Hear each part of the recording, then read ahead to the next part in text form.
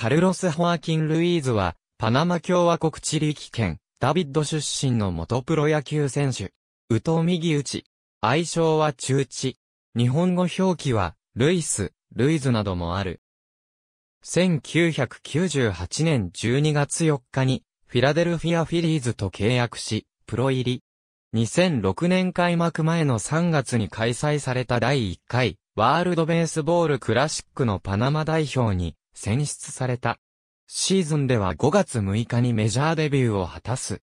2008年はチームがワールドシリーズに進出し、全5試合にフル出場をして、第3戦でサヨナラ安打を打つなど、16打数6安打、3打点、4四球、1盗塁と活躍して、ワールドシリーズ優勝に貢献した。2009年開幕前の3月に開催された第2回 WBC のパナマ代表に選出され、2大会連続2度目の選出を果たした。2010年は、ロイ・ハラデーが5月29日に、フロリダマーリンズ戦で完全試合、10月6日に、シンシナティレッズとのディビジョンシリーズで、ノーヒットノーランを記録した際に保守を務めた。キャリアハイの打率、302を記録した。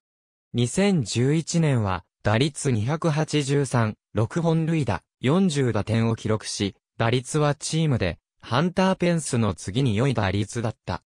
2012年には、6月終了の時点で打率が、364と好調で、オールスターゲームにも出場した。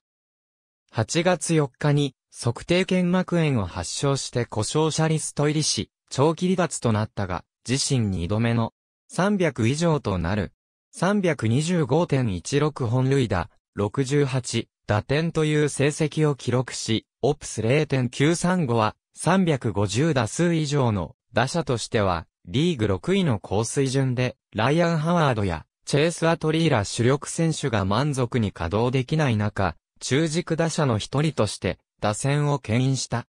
オフの11月に母国パナマで開催された第3回ワールドベースボールクラシック予選のパナマ代表に選出され、3大会連続3度目の選出を果たした。10月29日には、翌年の500万ドルの契約オプションが行使されたが、11月27日に、禁止薬物のアンフェタミンに陽性反応を示し、翌年の開幕から25試合の出場停止処分を課されたことが発表された。しかし、この薬物はアデラルというもので、アメリカでは標準で入手できる軽微な薬物であり、打力海岸とは無関係であった。2013年は前述の薬物による出場停止やハムストリング痛による離脱の影響で出場機会が減少。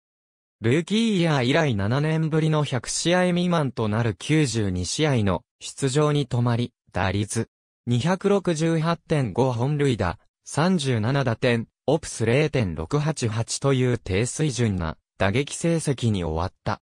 2014年は頭部に支給を受け、7月を欠場したため、110試合の出場で打率252.6本塁打、31打点、4盗塁に止まった。